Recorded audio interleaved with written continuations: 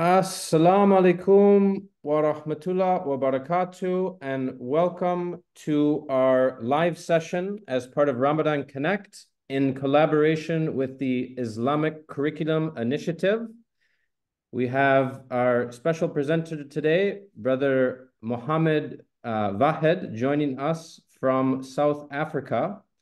And we also have Sister Zainab Elp joining us from Turkey, mashallah as part of the ICI. So before we begin, I'd just like to present our uh, facilitator today. Uh, before I do that though, I'll open with Bismillah ar-Rahman ar-Rahim. Alhamdulillahi Rabbil Alameen wa salatu wa salam Allah Sayyidina Muhammad wa ala alihi wa sahbihi wa salam. And again, for those just joining, welcome to ISLA's Ramadan Connect 1445. So today in our live session, which will be on the olive trees of Palestine, we have advocate brother Mohammed Abdullah Vahed joining us from South Africa. He has over 30 years of legal experience. He's also been an executive at Al Baraka Bank. He has authored many books and is the founder of the Young Leaders Academy. The objective of the Young Leaders Academy is to train future leaders he works extensively with schools, universities, Darul Ulooms, ulama, and corporates. MashaAllah. Wonderful to have you with us today, Brother Muhammad. Thank you, and it's a pleasure to be on uh, this program. Alhamdulillah. So before we get into the lesson, I'll just share a few words about ISLA. ISLA stands for the Islamic Schools League of America. It's made up of over 300 full-time Islamic schools, which amounts to over 50,000 Muslim students nationwide in the US. And the listserv um, connects 1,000 education professionals, which now are also an international network. We provide a comprehensive database of Islamic schools, and we help map out the landscape of Islamic schooling in the US, gauging progress in areas of need. So we're very honored to be uh, hosting again Ramadan Connect in partnership with the Islamic Curriculum Initiative, which grew out of the Global Association of Islamic Schools. And we will now get on with our live lesson here. Welcome to all the students and teachers joining us. This will be recorded and the slide deck will also be made available, inshallah, for all of those that are interested. Okay, Bismillah. Over to you, Brother Muhammad. Jazakallah khair. Uh, we begin in the name of Allah, the Beneficent, the Merciful, Master of the Day of Judgment. He do we worship and He do we ask for help.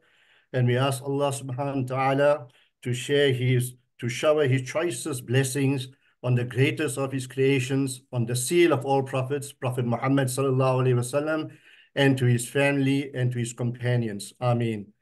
Uh, Assalamu alaikum wa rahmatullahi wa barakatuh. Uh, how are you, my dear students? Can you see me? Just wave to me so I know that we you can hear me. Uh, this is going to be a very interactive session. We're going to have lots of discussions, lots of questions and answers. So I'd like to hear your voices as well. So as Brother Yahya has mentioned, my name is Mohammed Vahed, and I am from South Africa. Do you know where South Africa is? You do? Where is it? Anyone? Okay, I see a hand up in 4A. Go ahead. Whoever's standing at the front there, go ahead.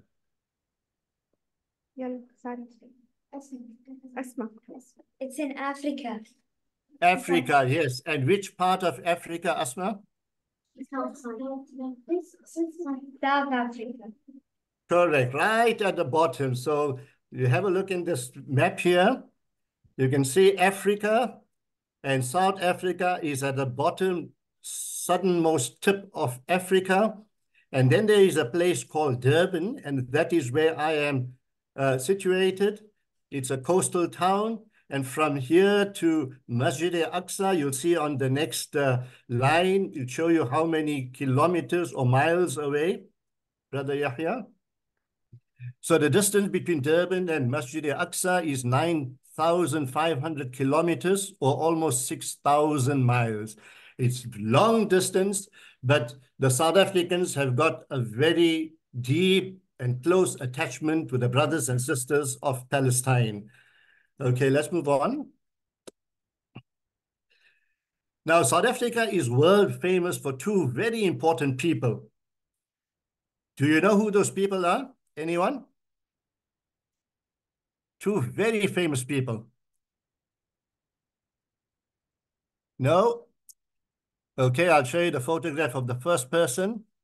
Have you seen him before? Anyone? No? a few, a few hands up there. Few hands. Okay, what's his name? Anyone? Maybe 5A, I saw a hand up. Anyone want to answer there? Or 5B? Okay, one wants to venture. Oh, there we go. Yes, go ahead, Nagar.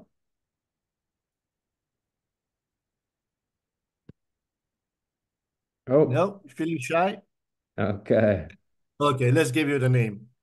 Okay, it's Sheikh Ahmed Deedat. You people must have heard of him. Very, very famous scholar. He is late now, and he he was an exceptionally good uh, researcher on the Christian Bible, and he used to have many, many debates internationally with uh, other Christian scholars.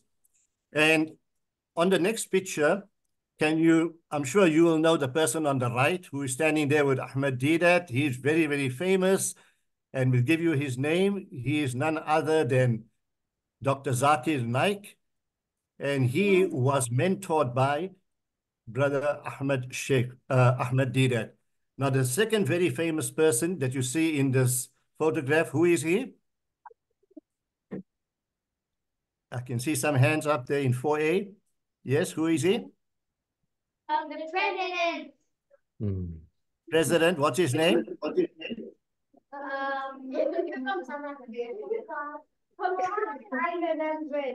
I just see the. I know. Okay, his, his name is uh, Nelson Mandela. And he was, yes, he was the first president of South Africa after the end of apartheid. So that gives you some idea of South Africa, some idea of where I am situated and what has made South Africa famous. Another thing that has made South Africa very, very famous is the fact that South Africa has gone to the International Court of Justice and took the case there against uh, the occupiers in Palestine for what they are doing to our Palestinian brothers and sisters. Okay, let's move on to the lesson itself. So in this lesson, we'll be discussing the following, the olive trees and their uses, the harvesting of the olives, and I'll take you into a factory where the olive oil is made. And then we'll discuss also the challenges faced by the farmers, uh, the destruction of their trees, the theft of their olives, etc. So just to give you an idea, we've got a fantastic uh, lesson lined up for you. So raise your hands if you have tried olive oil before, you've used olive oil. Great. And some of the things that we use, use olive oil for, you will know you use it in salads, you use it uh, for cooking, your mothers will use it for cooking, etc. So all of us have had some experience uh, and use of olive. Now, to really appreciate the importance of the olive tree to the Palestinians, we need to know a little about Palestinian history. So very quickly, I'll give you a brief history of Palestine, and then you'll see why the Palestinians hold so dearly to the, Palest to the olive trees. So let's move into the history part of it very quickly. Now, before 1917, 1917 is a very important date because 1917 was the time of the First World War. At that time, just before 1917, Palestine was controlled by the Ottomans. And you know the Ottomans, they are the Turks. And then the Turks, the Ottomans, they were on the losing side in the First World War. And after they lost the war, Britain, Great Britain, gained control of Palestine. Thereafter, the Zionists, the people who are currently occupying Palestine, they wanted a homeland. So they asked the British, we want the homeland, but that homeland must be in Palestine. Why in Palestine? Because they believed that their ancestors lived in Palestine. So the British then agreed. And thereafter, what happened is that lots and lots of Jews moved to Palestine. In 1917, almost the entire Palestine was populated by Palestinians only. Very small number of Jews lived in Palestine. But after 1917, more and more Jews started immigrating to Palestine. Now, when they began immigrating to Palestine, they wanted more and more land. So what they did was they started causing trouble for the Palestinians. They started shooting them. They started killing them. And even when the British wanted them to stop what they were doing, they even attacked the British. Okay, let's move on. So the British got tired of the Jewish problem. They said, we cannot handle these people anymore. So they handed over the Jewish problem to the United Nations. Now, you people must have heard of the United Nations. Now, another very significant date is 1948. That was World War II. So after World War II, what United Nations did, it said, okay, let's divide Palestine into two. We'll give 56% of Palestine to the Jews and 44% of Palestine to the local Palestinians. Now, was that fair, children? Was that fair to give away the land of the Palestinians to foreigners? Yes or no? It wasn't fair. So the Palestinians who were living there in Palestine then had to move out and make place for the Jews. But even then, the Zionists were not happy. They wanted more and more land, and they continued attacking the Palestinians, and they destroyed 500 villages. And up to 800,000 Palestinians were forced to leave their home. So you can see the picture on the left-hand side. These are the Palestinians who were forced to leave, and this is what's known as Nakba or the catastrophe. So this is just a little background to Palestine. And up to this day, the Palestinians are being persecuted and the Zionists want more and more of Palestinian land. Okay? Uh, Brother Muhammad, there is a question from 4A yes. here before we move on. Yes.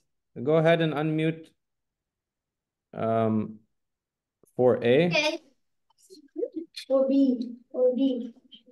Yeah, I say salam alaikum first one. Alaikum salam. Uh, I have a question. Why did they choose Palestine?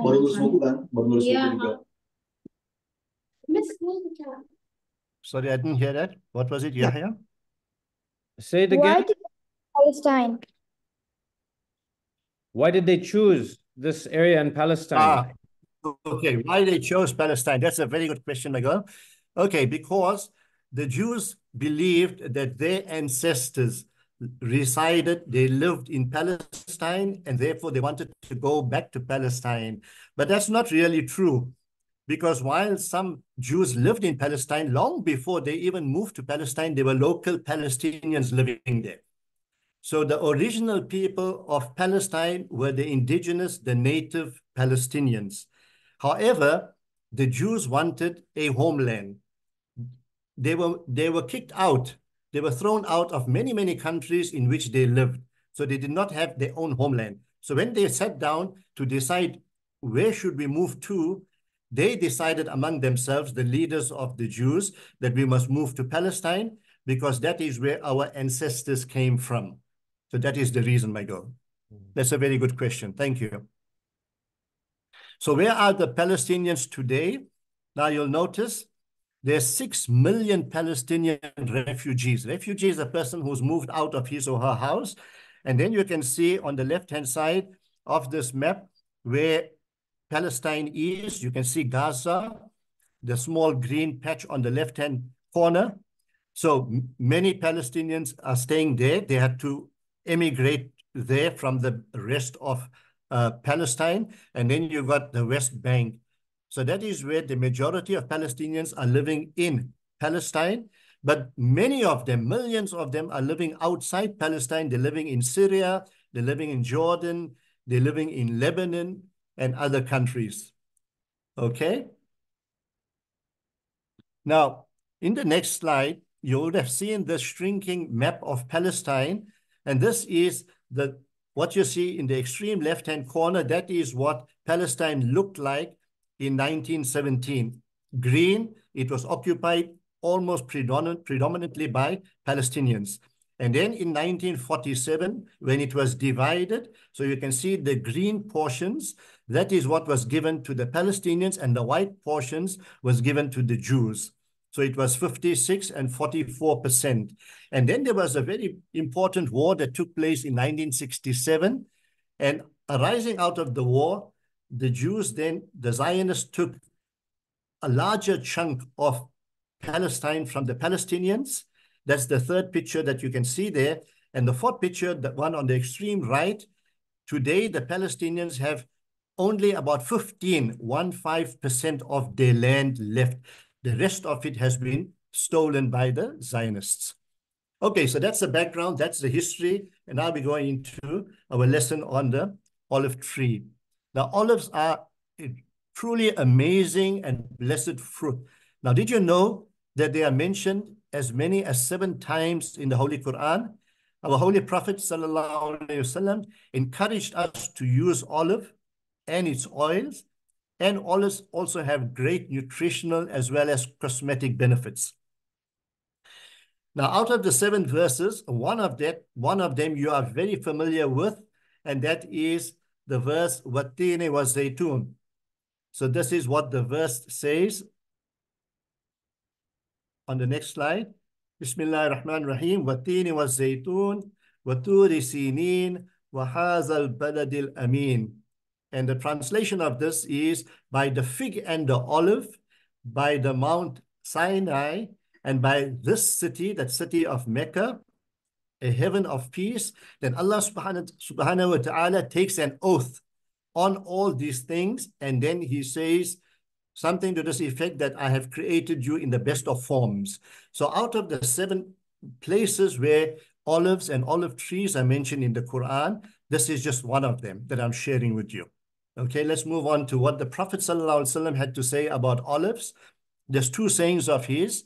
The first one is, eat the oil of olives and use it on your hair and skin, for it comes from a blessed tree. How many of you use it on your hair or on your skin? Raise your hands, please. Oh, great. Wonderful. So you are actually carrying out a sunnah of the Prophet Sallallahu So what you need to do the next time you use, even if you are eating it, even if you are using it on your skin or your hair, tell yourself, this is a sunnah of the Prophet ﷺ that I am carrying out. And if you make that intention, then this daily thing that you're doing, you'll get rewarded for it. You'll do that, inshallah? Great. And the second hadith of the Prophet ﷺ, it's reported, the Prophet ﷺ is reported to have said, take oil of olive and massage it with it. It is a blessed tree. So we also need it, need to massage it for people who are not well. Okay, let's move on now. So that is something about the importance of olives and olive trees in the Quran and the hadith of the Prophet. Now, I want you to pay careful attention to this video that I'm going to be showing you. It's about olives, olive tree, the harvesting of olives, the importance of olives in the Palestinian economy, what they do with the olives, how olives are made into olive oil, and eventually the lady will tell us a little about the trouble that they have with the settlers who want to steal the olives and damage the olive plantations.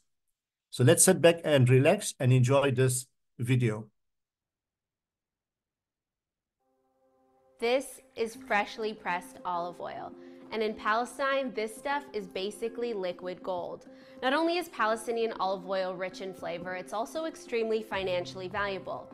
It's an intrinsic part of Palestinian culture and heritage, and for many Palestinians, olive oil is so much more than just something delicious to eat.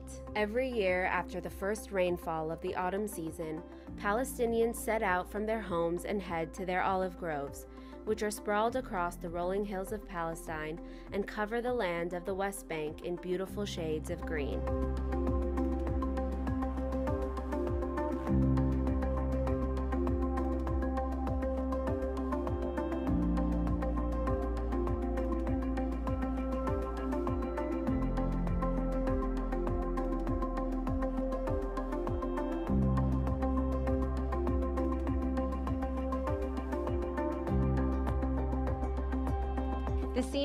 Me is one that's being played across all of Palestine right now as Palestinians gather together for the olive harvest, which happens every year in the month of October. Many of these olive trees are decades old and have been passed down within these families by each generation. For Palestinians, the olive harvest isn't just about picking olives. It's symbolic of their culture, their tradition, and the Palestinian ties to this land. يعني أبوي ورثنا عن أبوه وإحنا ما زلنا باللقطتين برضه نعم. عمرنا أكثر من 50 سنة أكثر من 50 سنة. اللي زي هذول الصغار اللي كبير أكبر من ذلك في العمر. يعني وإحنا أولاد صغار كنا يعني ما نعرفش لقطه زيتون كنا نيجي. باعتبار زي يعني شمة هواء أو رحلة نزهه نعتبرها. الإنسان بيكبر وبيجي اولاده دور بكرة أولادنا بيكبروا بيصيروا أولادهم يجوا.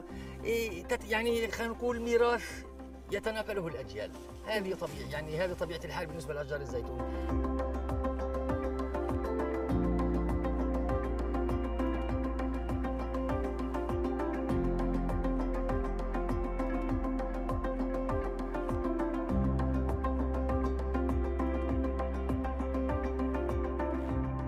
الزيتون إشي أساسي في حياتنا. يعني مش إشي عفوي إشي إشي ع- ع- متعمق فينا موسم الزيتون. الزيت معروف عندنا يعني مثل في العامية بقول الزيت عمادة البيت. فالبيت اللي بيكون فيه زيت خلاص أهله ما بيخافوا من شيء يعني لأنه بيعتبروه طعام أساسي. إيه، غير الشق المادي شق معنوي. خلص يعني شجرة الزيتون لها معزة خاصة في قلوب في قلوب الناس هون. إيه، إيه، بشكل عام الجميع بيحبها. أي نعم. إيه، خلص يعني هذه شجرة مباركة موجودة في بلادنا من مئات السنين أو من آلاف السنين بنقدر نقول فإلها معزة خاصة في قلوب الجميع سبحان الله We've been here for a few hours now, and now it's time to take a break.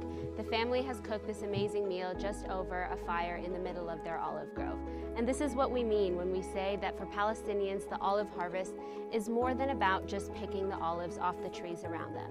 It's about family, it's about gathering together and enjoying the fruits of their labor.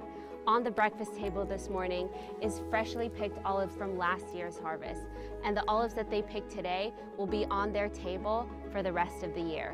After every olive is plucked from its tree, Palestinian families collect their harvest into bags and transport them to the nearest olive oil factory, where dozens of machines sift, wash, grind, and press the olives until they turn into a thick golden oil.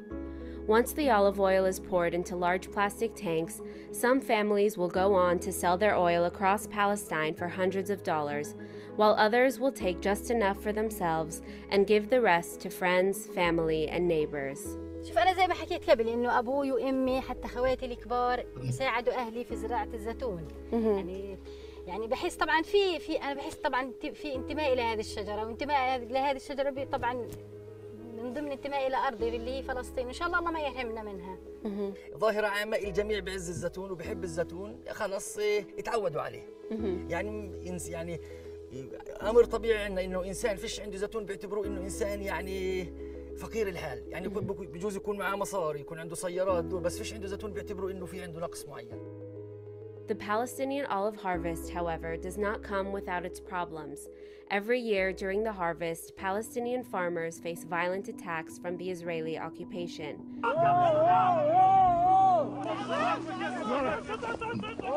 In the next episode of our two part series on the Palestinian olive harvest, we traveled to the Nablus district in the northern West Bank, where we met farmers who came face to face with violent Israeli settlers and were brutalized for simply trying to harvest their olives. الحجر أكثر من ست خمسة ست كيلو اللي كانوا يضربوا فيه وأنا على الأرض Okay, children, did you enjoy that video? Those enjoyed the video, just raise your hands. Great. So from that video, what we noticed is that how close olive trees are to the lives of the Palestinians. Some of these trees have been handed down from generation to generation. Some of the trees are as old, over a thousand years old. And in all, they are in excess of 10 million olive trees. Okay, we can move on.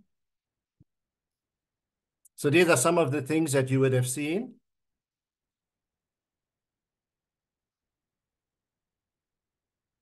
And it is very, very important to the economy. Now, in the next few pictures, I'll show you some of the problems they face with the settlers and even the soldiers. So you can see in the first three pictures, uh, the trouble that the Palestinian farmers have during harvesting time. And then that's the apartheid wall that divides lots of these farms. So if a farmer has got, say, 10 hectares of land, they will they sometimes they come and build this wall in the middle of the farm. So the farmer does not have access to half his farm.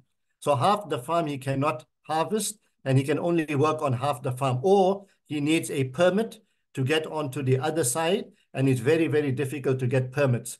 So this is some of the, these are some of the hardships that they face. Okay, have a look at the next pictures. Now, these are the fences that they have built between the farms. So even the farmers, in order to go and do their harvesting, they need permission from the soldiers. Quite often it is not granted. And you can see at the bottom, the third picture, the person, the farmer is arguing with the soldier. The fourth picture, you can see, imagine doing farming with the soldiers with their guns over your shoulders. This is the hassles that they have to go through. Okay, that brings us to the end of the second part. Now, there's a very important third part, and we'll conclude on this, and that is what is known as sumud. Sumud is a very, very important term in Palestinian, uh, their dictionary as well as in culture. So it means steadfastness. It refers to the resistance of the Palestinians to the takeover and settlement of Palestinian land by the Israeli occupiers. And Sumud also, the olive tree is a symbol of Sumud, of the Palestinians holding onto the land like a deeply rooted tree and preserving their identity. So you'll see the connection between the olive tree and Sumud. Okay, I'm going to show you a very interesting photograph that you probably have seen. Does anyone know who this woman is or what she is doing? Anyone? Yes, someone's hand is up in 4A. Come forward, please, my girl. Yes. Um, as I think since the maybe maybe she's could be using the tree as protection or she's trying to avoid anybody cutting it down or taking it or taking her away from it. Wonderful. Excellent. So what happened here? If you go on to the next slide, I'll give you the history behind it. So this is an iconic picture that has become a primary symbol and sign of Sumud. It shows an elderly Palestinian woman in the village of Salem, and this is in West Bank, who cries as she hugs an olive tree after settlers cut down the olive trees near Nablus in 2005. So you'll see this picture repeatedly. So whenever you see this picture, just remember that she's trying to hold on to the tree that they are cutting down. See, this is how deep-rooted the olive trees are in the culture of the Palestinians. Okay, let's move on. So to describe what Sumud is, when the occupation uproots our olive trees, the Palestinians say, we plant many others. So on the picture there on the right-hand side, that is the soldiers that are uprooting. Imagine the entire tree and thousands of trees are uprooted annually. When they demolish our homes, we reconstruct our homes. So the second picture there, you can see the lady, she's weeping. Her home is totally destroyed. Can you imagine the house in which you are living? You are given 15 minutes to evacuate the house and it is totally destroyed. All your belongings are lost. And then when they close our schools, we create makeshift schools. And I'll show you pictures of the damaged schools in the next slide. When they obscure our history, we engage in witnessing, remembering, so they write their history. And therefore, the importance of programs like this, where the history of the Palestinians is told repeatedly so people don't forget about it. Now, in the next slide, this, can you imagine this could have been your school? It has been totally destroyed. And here in that destruction, in that destroyed school, you can see the girl with her classmates behind her. They are busy with their schoolwork. And the picture on the left at the bottom, That's the school they have in the open outside the destroyed schools. Can you imagine, children? This is the condition that the Palestinian kids have to go through daily. Now, these photographs were taken a while ago, but what's happening in Gaza at the moment, there's no schools, and even it is not safe to have classes like this because of the constant bombing. So friends, children, this brings us to the end of this lesson. The lesson was about the olive tree. Now you've got an idea of the importance of the olive tree in the lives of Palestinians. But the one word that I want you to take with you is sumud, steadfastness, perseverance of Palestinians. And now you know the link of the olive tree with the land and sumud. So I hope you have enjoyed this lesson, children. Uh, if you've got any questions, I'm not sure how many minutes we've got left, but if you've got any questions, we will take them now. Jazakallah khair, Brother Muhammad. That was a very informative and helpful uh, presentation. Jazakallah khair. So we just have a few minutes left, um, but the discussion can carry on. I encourage uh, the teachers in the room to continue the discussion and also all of those watching the recording to use the time that remains in your period to uh, discuss what Mr. Muhammad, Brother Muhammad has just shared with us. So I see a few hands up. We have time for maybe one or two questions on this uh, session, and then we'll close out. I'll go first to uh, 4A. Go ahead, 4A. I see a hand up there. Yes, I think Fatima.